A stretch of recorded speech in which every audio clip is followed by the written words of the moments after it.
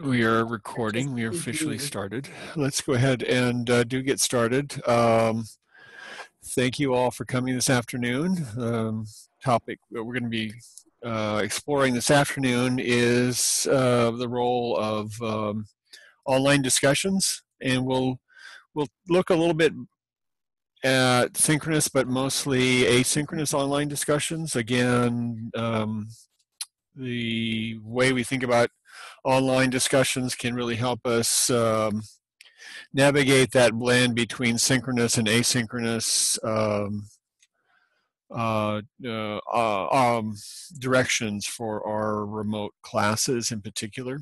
So I'm going to go ahead and share my screen.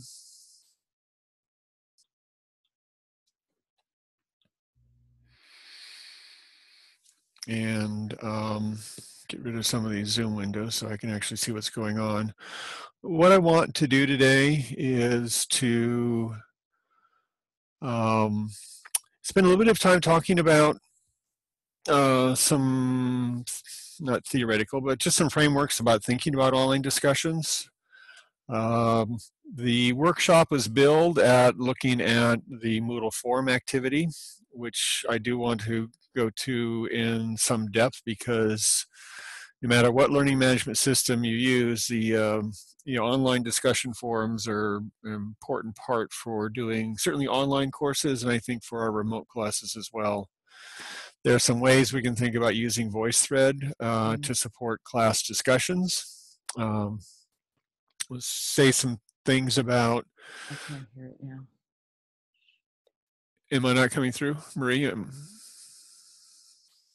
I can hear you just fine, Keith. Okay.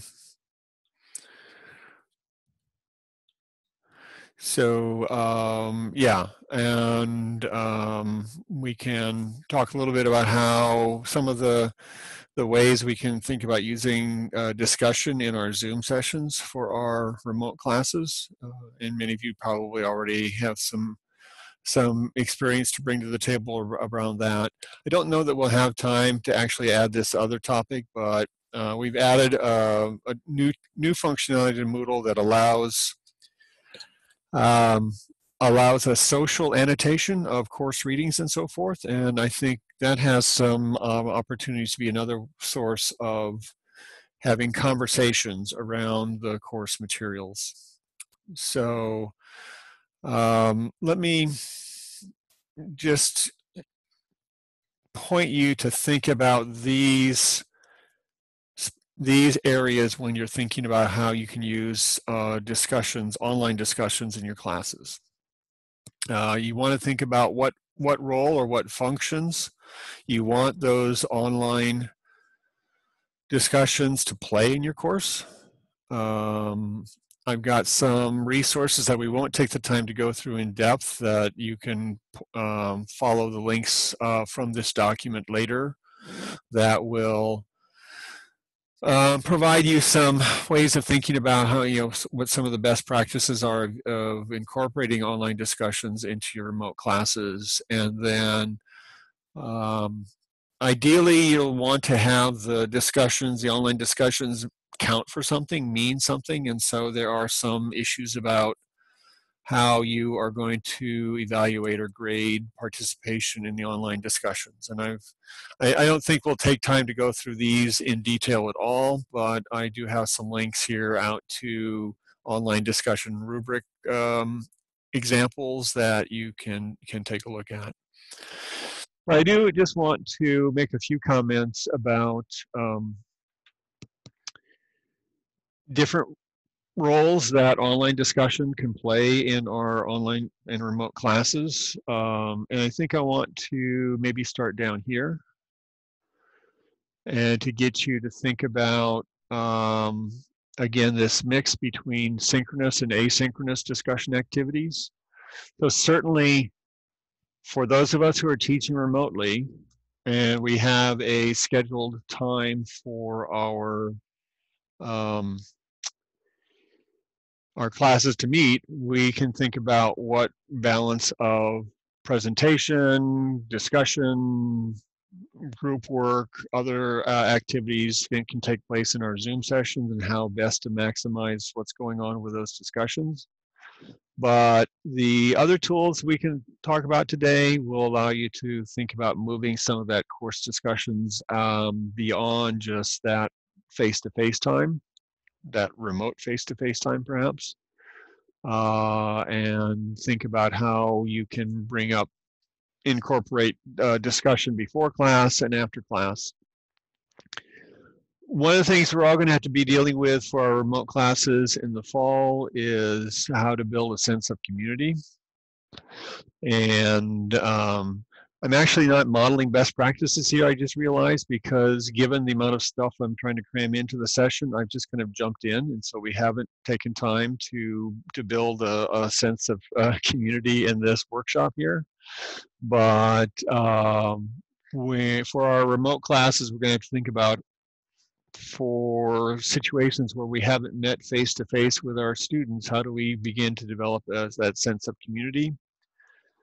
Um, for um, you know, for those of you who maybe have uh, developed online classes in the past, but certainly when when I work with faculty to develop online classes, very important to have some kind of low stakes icebreaker activities that can build a sense of community and oftentimes those rely around um, you know online discussions. Um, one framework that we use quite a bit um, is this community of inquiry framework, which I think I will actually take the time to go out to. Um, this this is a, a long-standing framework that is uh, very popularly used in thinking about developing online classes, but I think it re relates to our remote instruction classes as well. And, um, you know, there are these three presences that the model talks about. You know, teaching presence is how you have designed um, the course to allow students to be able to have meaningful educational uh, opportunities, cognitive presence, the ability to which you set up situations where students can construct meaning. But for certainly for online classes and for our remote classes, this social presence is very important as well. And you know, this is the ability for all of us that are participating in the class to uh, you know, feel like we are a member of the class, that we're a part of this uh, community of learners. And so as we're thinking about how to develop social presence for our fall remote classes, uh, it'll be very um, useful to think about how you can facilitate initial low stakes, welcoming conversations among your class that will get them to begin to know each other as individuals, um, that everyone can have a, a, social presence in the in the remote, remote kind of in, remote instruction kind of environment that we're going to be dealing with so that they they feel like they are you know contributing to some uh, some communities so um, maybe just a couple of other things to pull out of here. Some of these things we'll actually touch on when we actually look at uh, some of the tools later. But I think increasingly this issue of how we can use online discussion to promote a more inclusive and equitable um, classroom is important. Uh, even in our face-to-face classes, uh, I know when I do um, discussions in my face-to-face classes, you know, it's very easy for those class uh, for those classroom discussions to be monopolized by a handful of voices. Those students who are are into that mode, you know, ready to to step up and and um, you know share their thoughts and so forth. But that's not everyone in the class. And um, I actually wasn't teaching this last spring. I was helping faculty, you know, pivot their courses to remote instruction. But I know many of uh, the faculty I, I, I worked with had the issue where, you know, pivoting the remote instruction through the Zoom sessions was a good choice. It, it, allowed us to continue our courses, but it wasn't a great choice necessarily for all the students in our classes. And some of them you know, some of them just um, drifted further and further away from the class. So by adding some of these asynchronous discussion opportunities, giving more people, more students, and encouraging more students in the in the class to express their voice, I think has some important um, some important equity issues. So I don't want to spend too much time on this background stuff because we've got a lot of nuts and bolts to go through. But let me just point you to a couple of other resources here and then uh, I'll be a little bit better host and I'll uh, stop sh screen sharing for a couple minutes and we can see if there's any any questions at this point. Um, I, th I, think this 10 tips for effective online discussions is a good one for you to go take a look at later. Um, I'll just highlight a couple of the, the main points here. It's going to be very important for you to convey to your students what your expectations are for them uh, in the online discussions. I mean, that's important for our face-to-face -face discussions as well, but it's a lot e easier in the face-to-face -face environment to um, get those expectations across in various kinds of nonverbal and you know just classroom management kinds of ways. For our uh, remote instruction classes and online classes, you might need to be a little bit more prescriptive and spell things out, you know, in the syllabus and so forth. Uh, some, you know, low stakes, easy discussions that will bring the students into the online conversation space. And this works, you know, really well with having the idea of, well, having some icebreakers to get the students um, involved in the class. Uh, one thing you're all going to have to think about is how much presence you need to have in especially the asynchronous online discussions.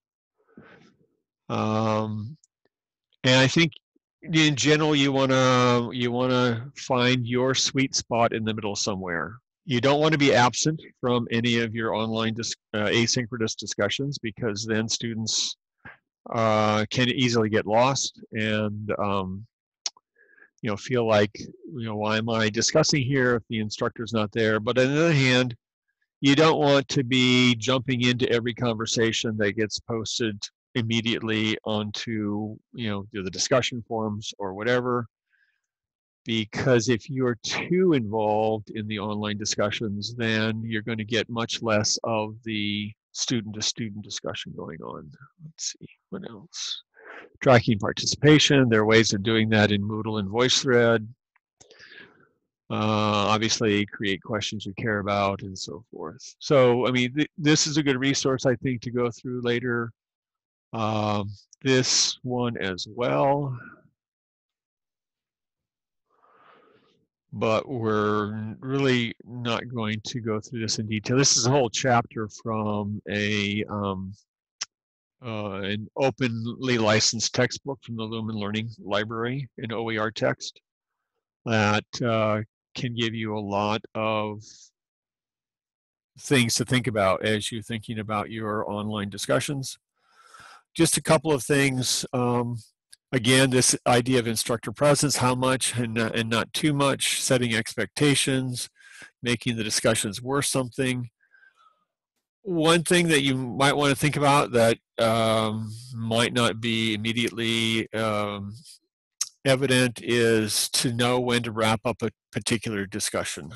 Uh, so part of the expectations is you know making it clear when you want students to participate in each of the online discussion opportunities, especially for the asynchronous opportunities.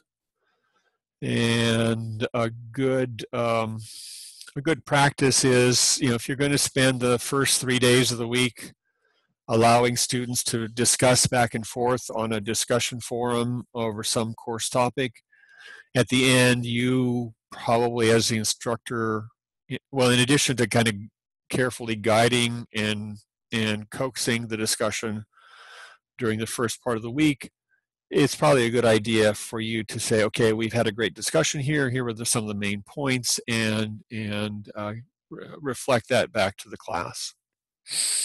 Um,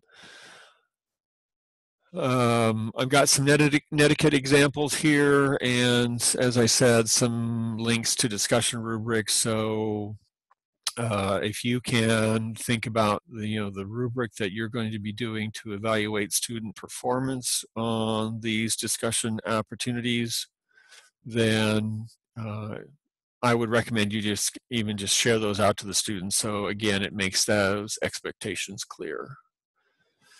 So I'm going to stop sharing at this point and um, you know see if there are any comments or questions that people want to raise at this point. I think you want to think about how discussion played a role in your face-to-face classes and to what extent you want that those same roles to be reflected in online discussions in your remote instruction classes or whether you're going to need discussion to take on new roles for your classes.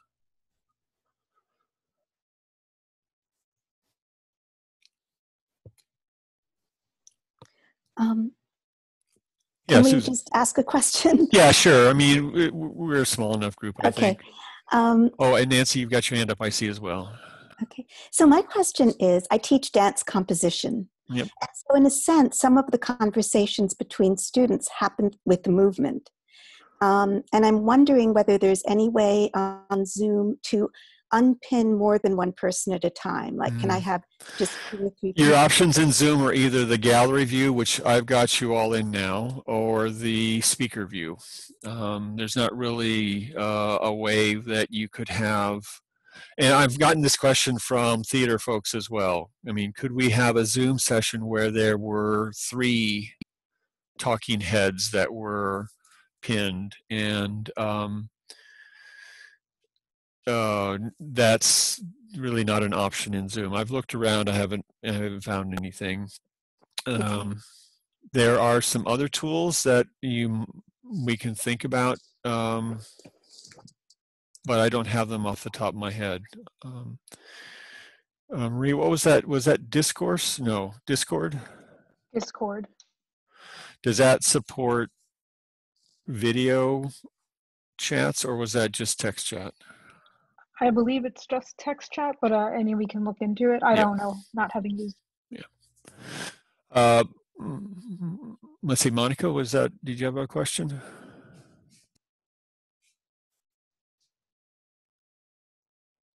Okay. So uh, what I want to do is provide some nuts and bolts for those, uh, you know, those three tools. Uh, the Moodle discussion forum is really geared around asynchronous text-based conversations. Um, and um, in general, that that's a, has that kind of approach has always been a very important workhorse for um, providing a way for students to interact with each other and with you and with the content in these online remote courses. Um, say a few things about VoiceThread and then uh, finish off with talking about um, some aspects of uh, managing conversations in Zoom.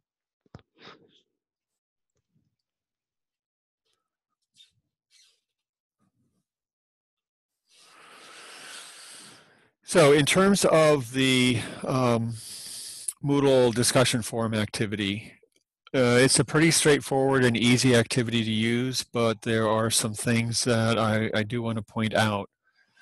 Uh, as I've mentioned, um, online discussion forums have been key for online learning for forever.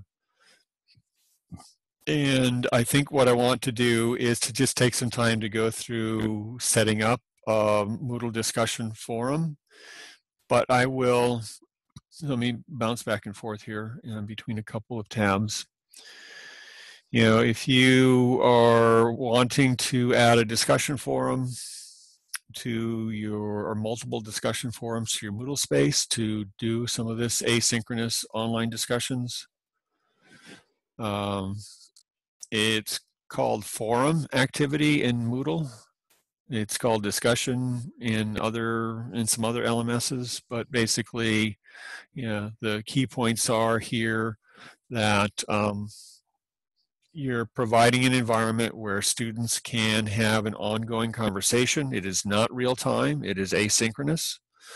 Uh, so this allows you know the conversation to expand beyond just a particular time when students are together either you know online at, at a given time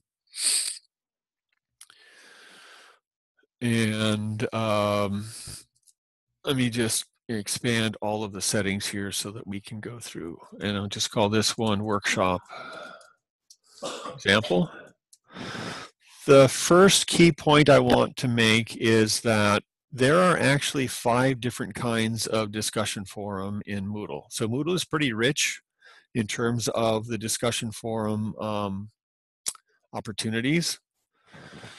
And um, the default, this standard forum for general use is not necessarily the best discussion forum for you to use for a particular discussion in your class.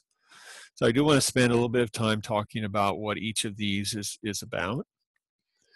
And I have examples of all of them actually set up already in my sandbox here. And we can go through from the faculty view and the student view what these look like. But basically, you should look at the discussion forum activity as um, an activity that can contain one or more separate discussion threads. And a discussion thread is just somebody starts a conversation and then others have the ability to reply to those, uh, to what's been posted in that conversation. These different types of Moodle discussion forums vary in terms of how many separate discussions can there be in the forum, who can start them, uh, and how many can someone start, who can reply. Well, basically everyone can reply to whatever is up there, whether you're a student or instructor. But some of the different forums have limitations over um, you know who can reply when. So as I said, this, this standard forum um, for general use is actually, in my opinion, not the best option for uh, discussing actual course topics. Um, this is the most generic um, discussion forum. It's a container where anyone in the class, faculty or student, can start as many separate discussions in that um, discussion forum as they want. And then anyone can immediately reply to any of the discussion threads that are started. So if you were to use a standard discussion, a standard forum for um, for a topic like, uh, you know, I want you to, to discuss how the material in chapter 13 relates to the issues that we discussed last week in our Zoom session.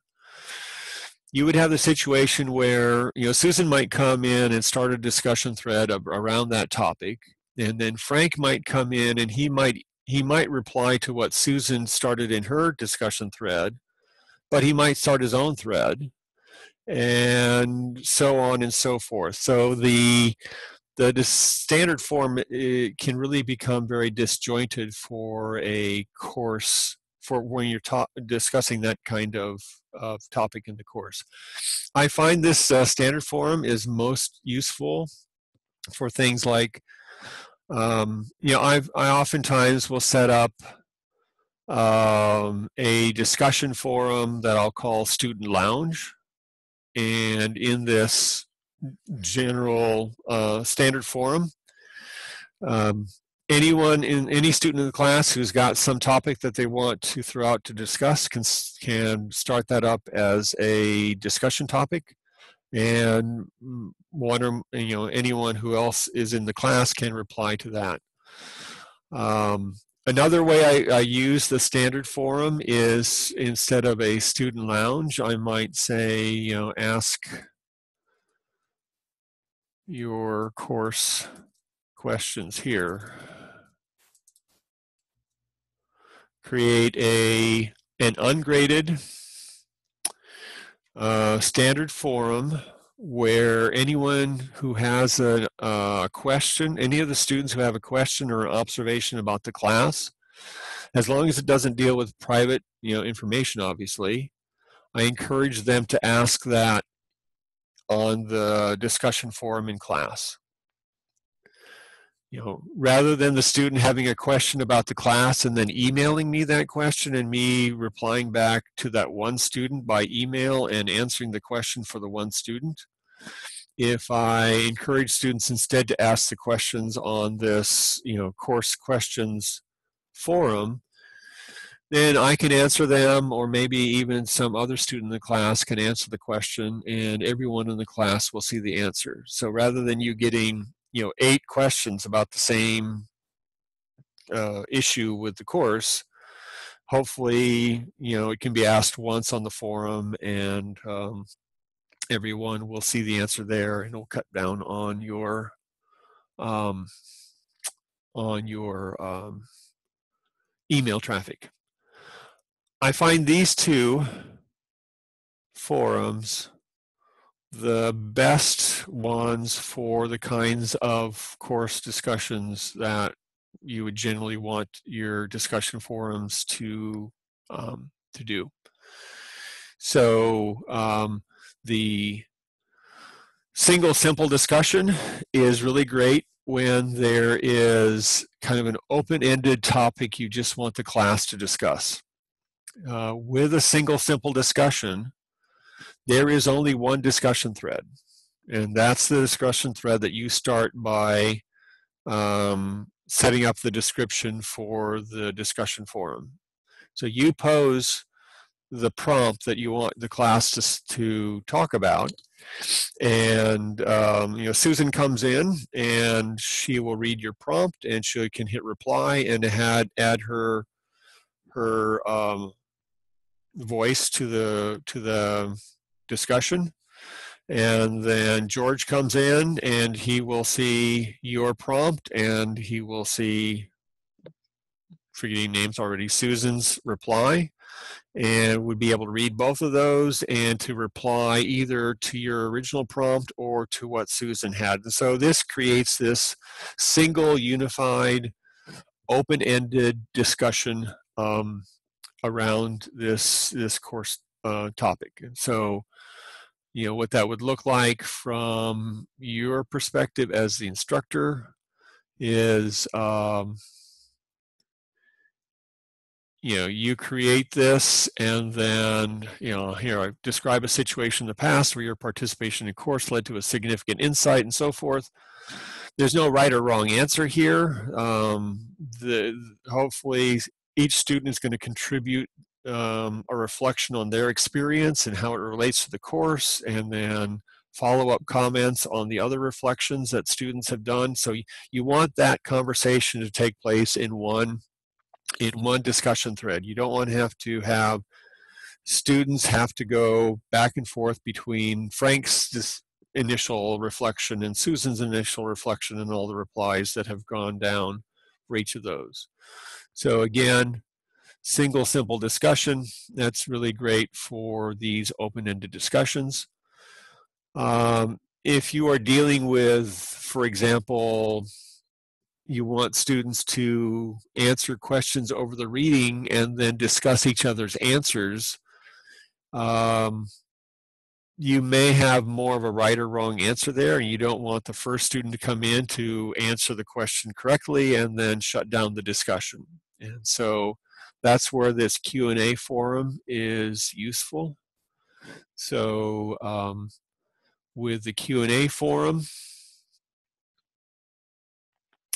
you have the ability as the instructor to set up the discussion forum and then you are the only one who can add new discussion threads. And so if um, if um, I've added already a couple of questions on chapter 12 and I want to add a third question, I would say, you know, here's question three.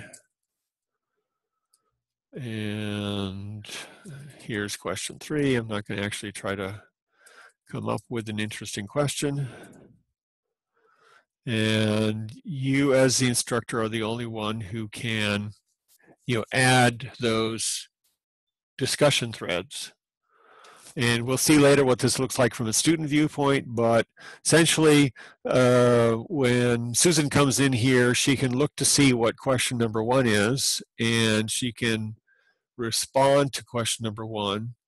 And if Frank comes in later and goes to answer question number one, um, until he has answered question number one, he won't see what Susan has answered.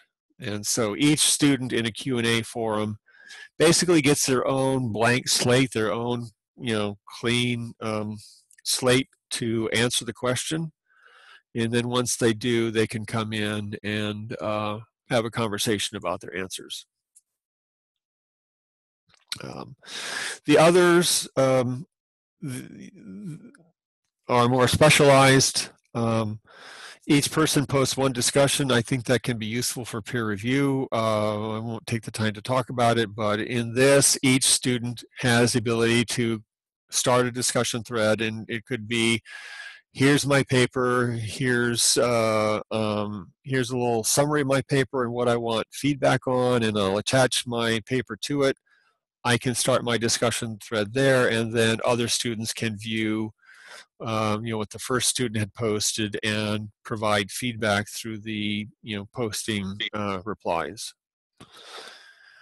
Um, so uh, when you are setting up a discussion forum, you want to decide you know what makes the most sense. Do you want an open-ended discussion? Um, and then in that case, the here's the discussion prompt your description of the forum would become the start of that conversation. Um, uh, a lot of these settings you don't need to worry about. Uh, I will talk a little bit about subscription and tracking though. Um, you have the ability if you want to force everyone to get an email every time someone posts something to a discussion forum. Probably not a popular setting if it's a very active discussion forum. You can um, you can disable that email feature if you want. I wouldn't necessarily recommend that. The optional uh, subscription basically allows students to decide whether or not they want to be notified and in the version of Moodle we're running now, and for actually for several versions uh, in the past, not only can you subscribe to a um, discussion forum where you get notified by, for every um, every activity on that forum, but you can also subscribe to individual discussion topic threads. So uh, that's a good way to you know keep people engaged if they're oh there's some new activity on the discussion forum. I i want to go in and, and reply to that. Um, in terms of grading uh, discussion forum uh, participation you have the ability to turn on um, a rating scale for so that you can provide a rating for each individual uh, discussion forum post. Um, that has some nice features in that as you're reading through the discussion forum, you can just go ahead and provide, you know, put uh, numeric scores on the posts, but it can be kind of difficult to figure out how to actually combine all of those into a grade. So, um, you can specify what the maximum grade is, but you know, if you do average of ratings and let's say you're doing like on a five point scale and one student does five excellent posts and you give them a five for each of them and they do one so-so post and you give them a two. Um, and then you've got another student who does one great post and they get a five for that. The student who did the one great post at five actually gets a higher score than um, than um, the student who did five good posts and one mediocre post. so there's some some complications to think through. If you are interested in, in doing this ratings uh, approach, uh, contact me and we can work through it. I tend to leave ratings off most of the time and just kind of read through uh, all of the posts for each of the students and give them kind of a holistic, if it's a 10 point uh, uh, activity, you know, I'll give them a more holistic uh, you know, Susan did A work. I'm going to give her a 9.5 out of 10 on the discussion forum. Um, other, you know, just kind of standard Moodle settings. And I don't think we'll take the time to talk about activity completion. In this case, I've created a another single simple discussion forum. So if I click save, again, it's going to um, have a container for discussion that has just the one conversation in it. Um,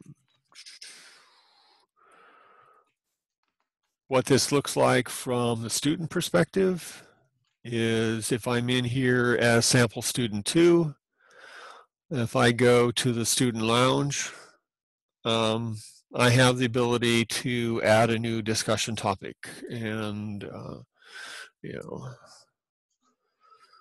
chapter 12 questions. What were we supposed to read about? You know whatever question that um, the students uh, want to post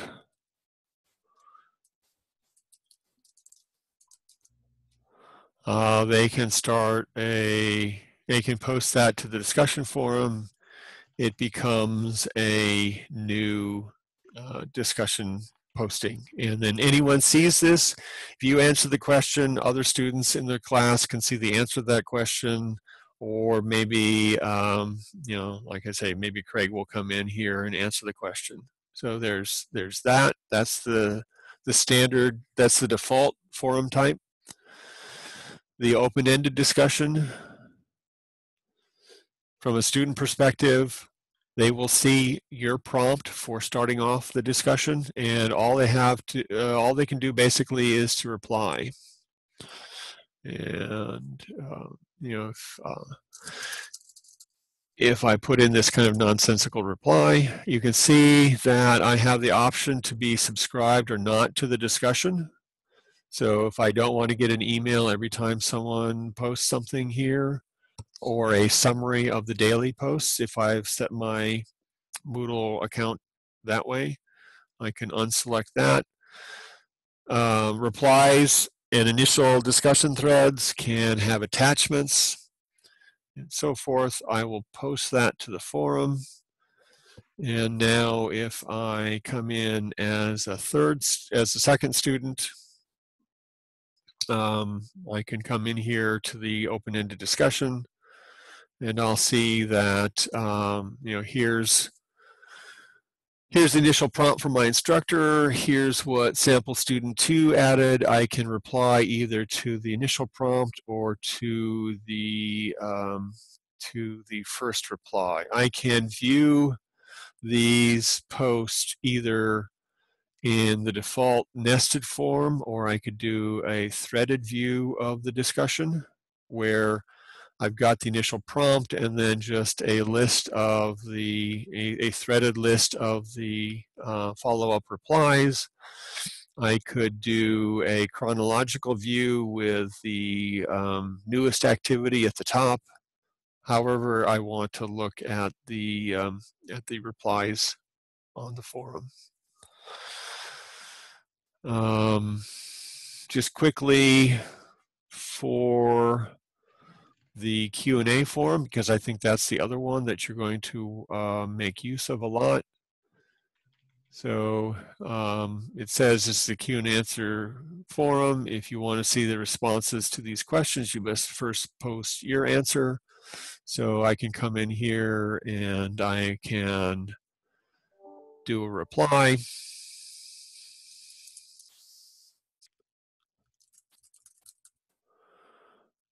And post that to the forum again if uh, and that's that was for question one if I come in here as um, sample student five to the chapter 12 forum, I will see that um, there are these three questions started by my instructor. Um, these two obviously just have uh, the unread prompts from the instructor and no replies. This forum actually has a reply. So if I go in to look at question one, I will see that um, somebody replied. I don't see who. I don't see what they replied. I've got to answer the question first.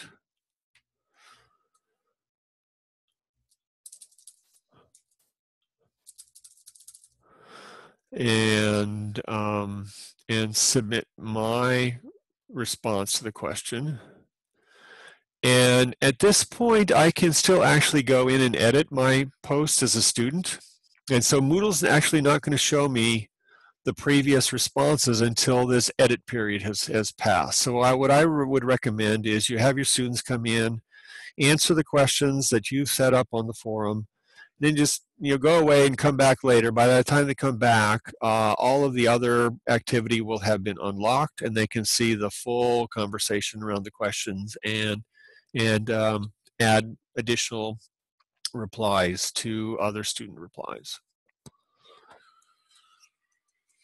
Okay, so that is, I think, uh, enough to get you all started well with the discussion forum activity. Um, I won't go into great detail on VoiceThread because I do want to spend some time talking about uh, Zoom discussions, but I will just say that um, I, I, I, don't know how many of you um,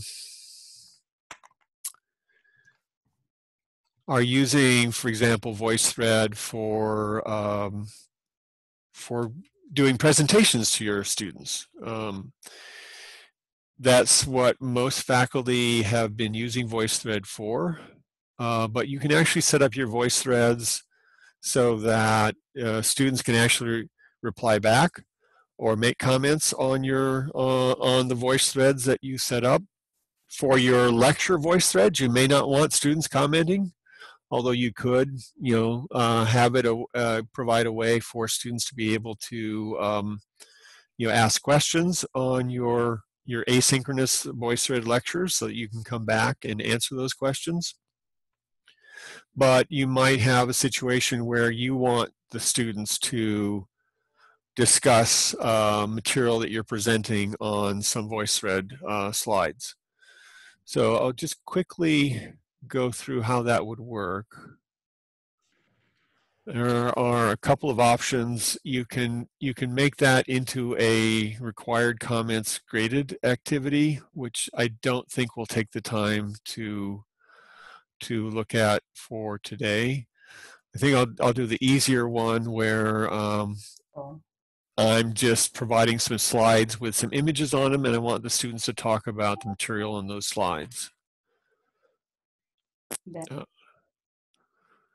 so uh, you would do that by um, adding a VoiceThread activity.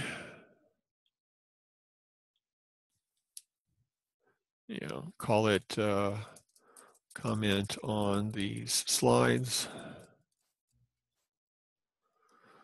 I'm not going to make it a graded assignment, so I'm going to unselect the option to accept grades from the tool. And once I create that assignment, um, when I first, as the instructor, go into that activity, then Moodle is, or VoiceThread is going to ask me what kind of a VoiceThread it should be. I'm going to point them to an individual VoiceThread that I want them to comment on. And actually, let me just quickly create a new one. Uh, to show you some um, some things here. So I'm going to just go pick out some pick out some slides from the New York Public Library. Uh, just get four or five slides here, import those into my VoiceThread. Um, NYPL slides. Um, when you are creating your VoiceThread, uh, you want and you want students to comment on it, you need to look at the playback options. And so if you've been working with play with VoiceThread before, you may not have actually looked at the playback options. Here is one place to do that, but I will, um, you know, I'll do it here. Um, you can decide whether or not you want students to be able to add slides to the slide deck that you've put together. Maybe I don't want that to happen. Um, you do want to make sure that you have selected at least one of these comment modes for students to be able to do uh, comments on the VoiceThread because if these are all unselected, they're not going to have the option to do commenting. So uh, I'll just leave microphone, webcam, and text selected as the options. Uh, maybe I'll enable threaded commenting as well because we're talking about really doing discussions. If I click save, um, then I have created this uh, little five five slide presentation. I've actually not made any comments myself on there. I'm just going to share this with the class. And then um, from the student perspective, we come in here and um,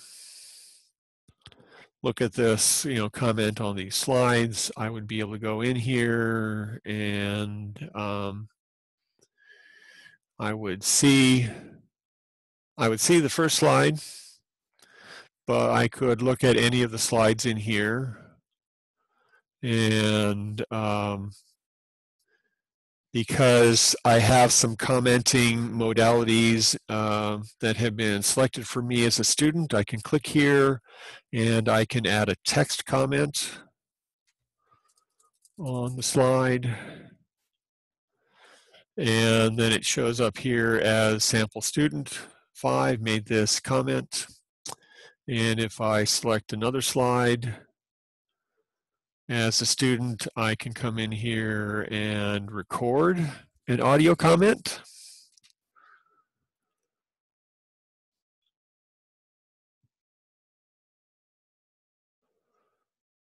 So here is my comment on this slide, and I'm going to pull up a pencil so that I can point to the fruit that this particular monkey is uh, working on.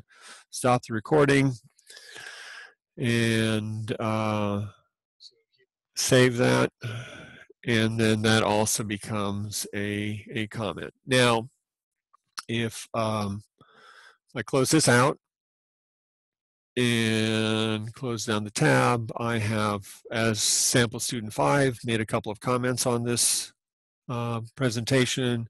I come in here as um, sample student two and look at that same one. Um, I will see the slides and I will see that there are some slides that have some comments on them.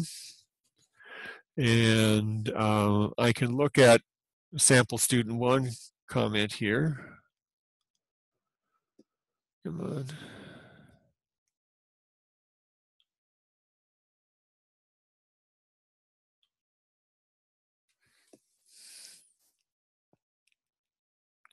And because my instructor has enabled threaded comments, I can actually add a comment to the previous comment using any of these modalities.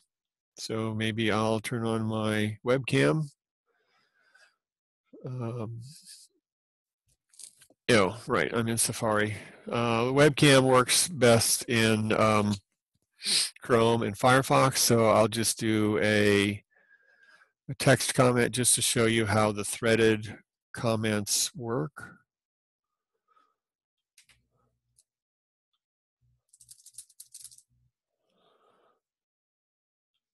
And now, um,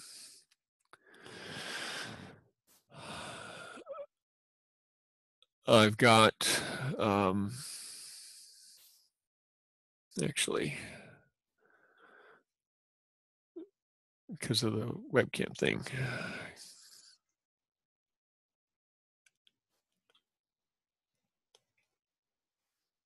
Yeah, so my comment is, uh, you know, attached to the previous students' comments, and these can be private comments or they can be public comments. Public comments are viewed by, you know, anyone else in the class. Private ones just go to the original student. So there is a bit of a robust uh, commenting functionality in uh, in VoiceThread if you want to use it that way.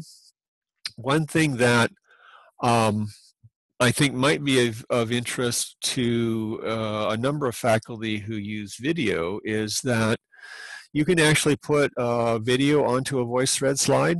Either it's a video you can upload to the VoiceThread that you're creating, or what I did in this case was to create a VoiceThread slide that I just um, use the URL to a YouTube video and put that and and, and uh, VoiceThread basically captures that YouTube video. Now as um, sample student two, I can actually come over here. Um, come on, to a particular point in the video. and you know with with the uh, with the scrubber there come on if I well you know you get you get the you get the timeline scrubber where you want or you just play the video and stop it when you want to make a comment as a as a student, if I can get this stuff out of the way, I can um, I can add a comment.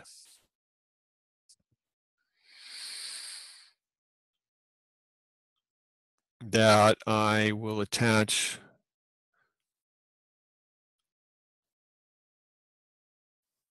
yeah don't show me that again to a specific time point in the video and so you could certainly set up a discussion forum in Moodle and embed that YouTube video as the prompt in the discussion forum, and then in, in the replies in the in the Moodle discussion forum, students could talk about the uh, different aspects of the video. But with this commenting feature in um, in VoiceThread and the ability to attach the comments on a specific point in the video, you can have the um, the conversation tied to uh, you know the specific uh, aspects that are being discussed at the different times in the video. Okay. So that's uh, that's something that might be of, of interest to a number of faculty who are are using video. Um, and then in the time we have left, because I do want to be sensitive for people's time, let me just make a couple of comments about um, about Zoom. Um, boy, what can I do justice to? Uh, we probably at this point all have examples or experience doing um, conversations in Zoom, so I maybe won't do a lot of discussion about this. Uh, clearly, the, the size of our class makes a difference how we manage this. Um, let me, um, you know, if you've got a small enough class, I've, I've worked with faculty who, you know, have a reasonably sized class. They just tell everyone in the class to switch to uh, gallery view so that everyone can pretty much see everyone, you know, have everyone turn their webcams on, assuming that they've got webcams, and can have a fairly decent full class discussion that way. If you've got a larger class, obviously that can become unmanageable um, quite quickly. So just as with our faculty at large meetings or our college senate meetings, we make use of the raised hand feature to manage who can discuss next. You know, there there is that.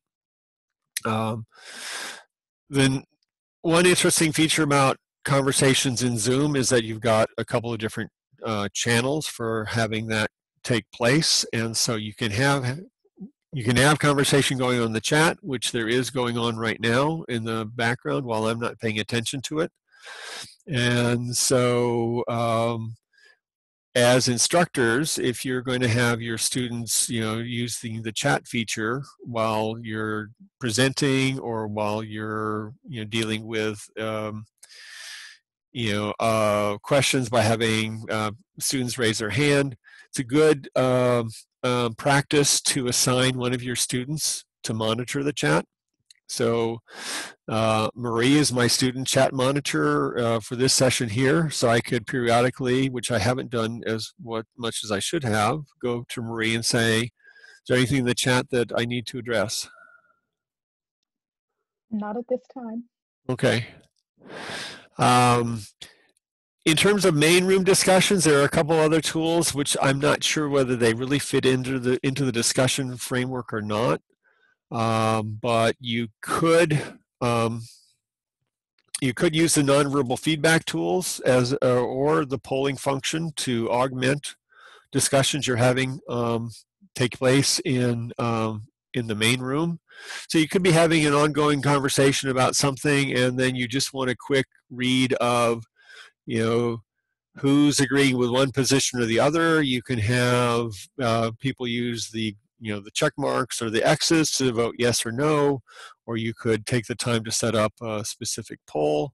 All of these, while not discussion per se, can augment um, the discussions you are having in Zoom. And uh, I'm going to stop my sharing for a minute so I can look at the um, the participants window. For those of you who have used breakout sessions, go to the participant window and click yes. And for those of you who don't have experience using the breakouts, click the no button. And looks like so far we're pretty much split half and half, maybe a few more faculty who haven't used the breakout sessions. Um, for those of you who can stay around for like five more minutes, um, I just want to show you, especially for those of you who haven't um, been involved in um, using breakouts, what it's what it's going to look like. And of course, one issue with demonstrating Zoom while I'm in a Zoom session is that uh, I really can't show you real time what's going on. So I'm going to take a couple of screen captures as I'm setting up breakout rooms. And uh, when you are managing your Zoom session, um, you should have an option down at the bottom of the screen for doing breakout rooms. It might be under the dot dot dot more option, depending on how many tools you've got showing up down at the bottom of the screen. And if you select the break, I'm, I'm going to verbally describe it and then show the screenshots later. If you uh, select the breakout room option, you basically can have Zoom automatically and randomly assign uh, people to uh, breakout rooms. You specify how many rooms you want.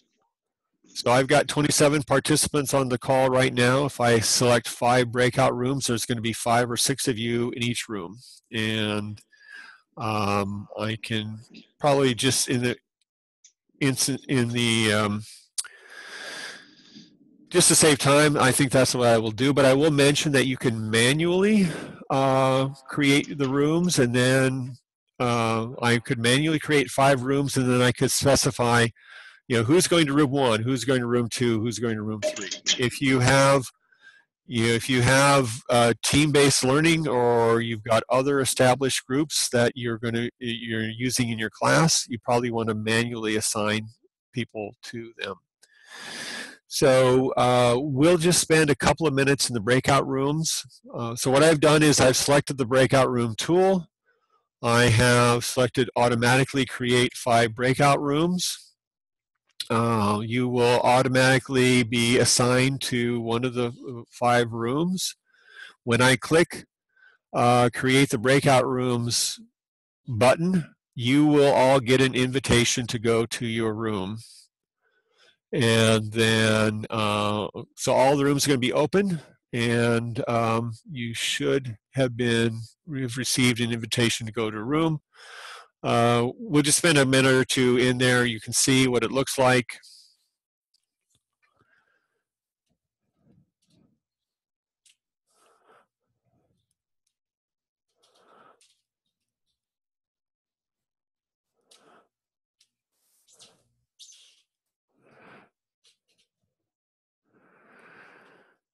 So it looks like most everyone, Marie, has moved into their rooms. Uh, and uh, let me just demonstrate. You can.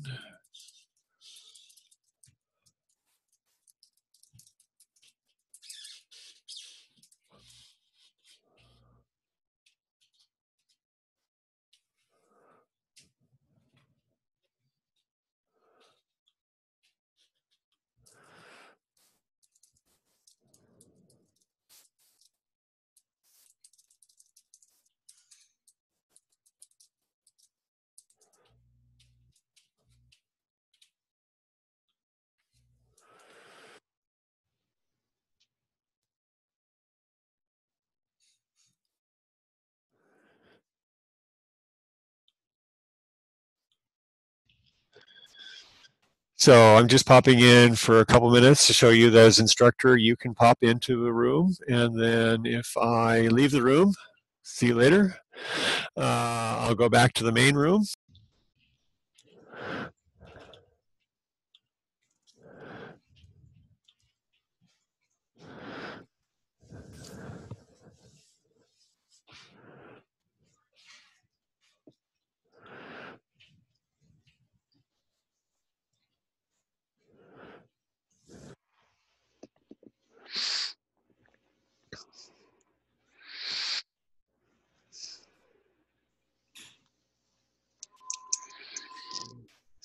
Keith, I have a question.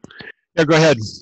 Um, all right, when I'm looking at the bottom right now, I don't ha- see that breakout thing. Is No, because you're not host. Because I'm not host. Okay. So when when you are hosting your own meetings, you'll see you know the record button. You'll see the security button so that you can control who can share and who can't share. You'll see the breakout room button, um, and some other things that you don't see currently as participants. So um, Okay. yeah, I um, so when you were in your breakout rooms, I did from the main room broadcast a couple of messages to all the breakout rooms. So there is that functionality. Um, I didn't, given the time uh, that we're already over time, I did not actually go into each of the rooms. But as host, you can go from the main room to any of your rooms to see how the conversation is going, and then go back to the main room. So clearly, I mean, this breakout room functionality is very useful for mimicking the kind of situation we do in our face-to-face classes where we want some small group discussion first for, you know, students to um, to have a, a um, an easier environment for them to discuss some of the uh, some of the concepts in the class and to come up with some you know specific things to report back and then we report back. So the breakout room functionality in zoom is uh, is very useful. Um, i mean just some good practices for that. Uh, yeah maria's copied into the chat um, some information about uh, managing breakout rooms, but um, pedagogically, if you're going to use breakout rooms, you should probably do it a little bit more intentionally than I did at the at the end of the workshop here. Um, it's a good idea to send your students into the breakout rooms with a clear idea of what you want them to to discuss in their small groups in their breakout rooms and also um, it can be a good idea to have uh, specific deliverables that you want them to produce at the end of their breakout discussion to bring back to the to the room. That can be the same uh, the same thing for all rooms, but you could you know you could say, well, room one, I want you, I want the four of you to really focus in on this aspect of the argument that the author was making in the text. And I want you to evaluate this question and I want you to come back with a response to that question. So that each breakout room can have a different focus depending on how you want to arrange those, those small group discussions. Um, and then, uh, as I said, you can you can broadcast messages to all of the, the breakout rooms so that you can uh, have a one-way communication to the students at, when they're in the room. You can spend time going around to the rooms to see how the conversation is going. Typically, when you decide to close the breakout rooms, uh, students get a 60-second warning. So you should have all seen a 60-second warning saying, you know, the room is closing down you um, um, you um, you have the next 60 seconds to return back to the main room. So uh, this can be a, a, very powerful way to kind of segment and manage the the discussions that you want to do real time, live, synchronous discussions. But also think about you know some of these other tools where you can bring in asynchronous discussion conversations to kind of broaden out the scope for conversations in your classes. And uh, am already over time in terms of our time together today. Um, I will uh, I will get caught up on getting follow-ups to all of the workshops we've been doing over the last three or four weeks. Uh, that's my job for the weekend is to send out you know, follow-ups for this uh, for this workshop. I'll send out a follow-up um, that will provide um, you know links to the recording once it's up on our YouTube channel and to the lecture notes. Uh, we'll put together some um, some help links for um, the Moodle discussion forum, for VoiceThread specifically about doing discussions, and for Zoom managing discussions in Zoom. Uh, there'll be a link to a um, workshop evaluation form that I've got up online, as well as information about how to, uh, you know, contact uh, academic affairs about documenting attendance if you still are in a situation where you're needing to do that. So um, I know I tried to pack a lot in here. Um, we will um, probably, as the summer goes on, we had uh, more. Um, we, we we've had full workshops on pretty much all these tools, and we'll repeat them as well again. Um, as always, we're we're looking for the workshop topics that you will find most useful. So if you've got ideas about workshops that you want us to do, you know, just go ahead and send them to tltc at purchase.edu or the workshop evaluation form also has a place where you can say, you know, I'd really like to see a workshop on this topic or that topic, and we'll we'll bring them up and fit them into the schedule. Um, so with that, I'm going to stop the recording.